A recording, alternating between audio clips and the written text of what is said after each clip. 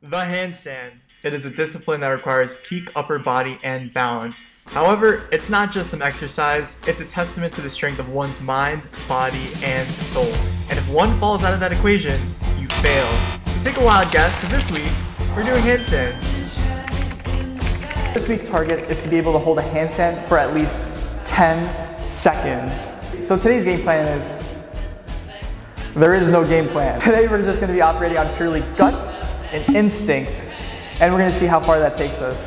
So I've got about two hours for myself to see how much I can learn, how much progress I can make.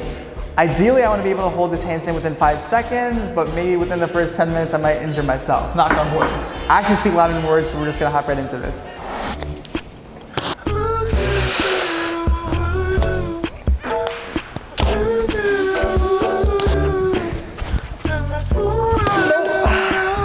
Think the major, I think the major part of it is the kickoff. I don't think it's not even my shoulders that are killing me. It's my legs.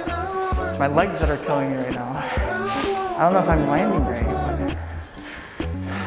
Probably should have stretched.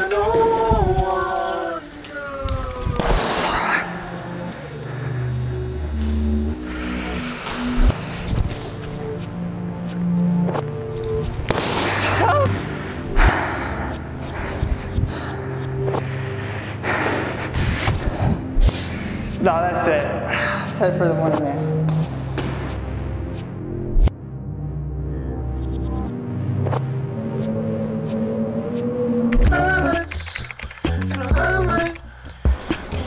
After doing my homework, I was able to discover three main pain points when it came to my handstands. Number one, number one is my kickoff. Almost all of my handstands have not achieved full verticality. Imagine trying to stand slanted.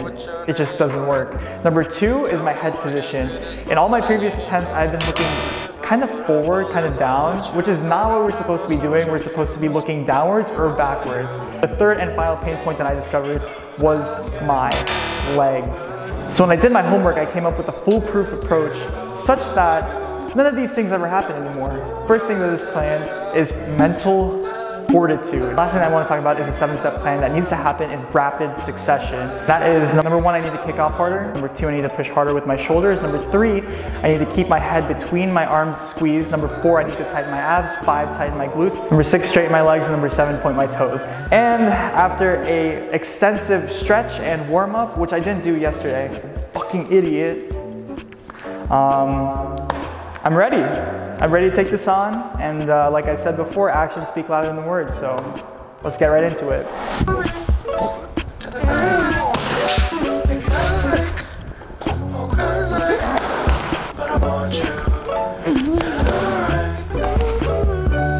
Tell me more, I got a box cutter with your name on it. Tell me more, I can't stay this long, but it's saying I count that. I, I count that. I think we're doing better. I, I definitely feel a whole lot more confident with these. I think it's the push off, tightening the core. And the last thing is the legs. I honestly can't figure out how to tighten those legs. It's people keep telling me I need to practice this on the wall, but as you can see, there's really not a lot of spaces on the wall for me to practice on. I don't want to practice against a mirror. Because if I break it, it's GG. It's okay. okay. Push on forward.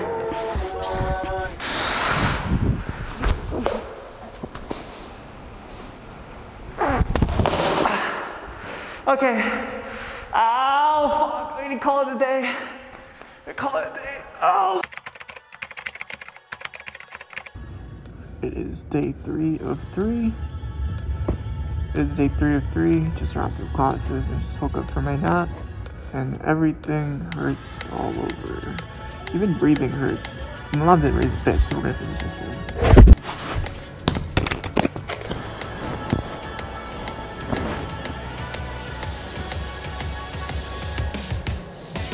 Today's the last day of this challenge, and every single muscle in my body hurts. It's a statement of facts. I'm, I'm, I'm not even kidding.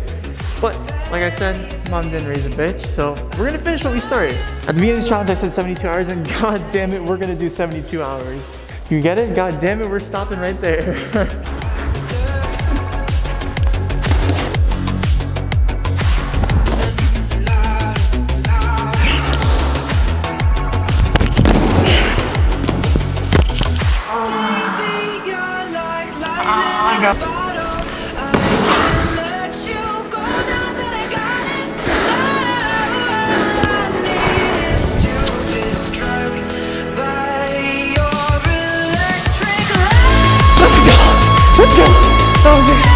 Let's go. Let's go.